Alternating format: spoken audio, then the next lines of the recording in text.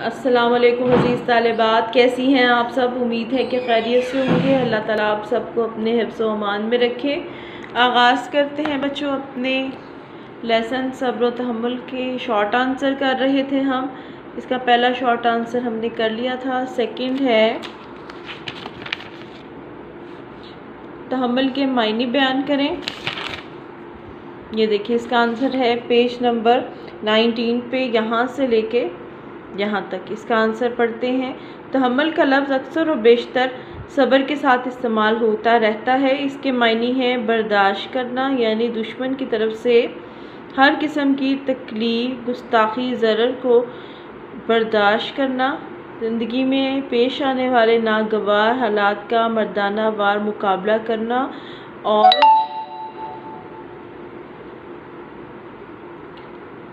और मुसलसल आगे बढ़ना। ठीक है बच्चों, यहाँ से लेके यहाँ तक ये आपका दूसरा शॉर्ट आंसर है, इसकी पिक मैं आपको सेंड कर देती हूँ।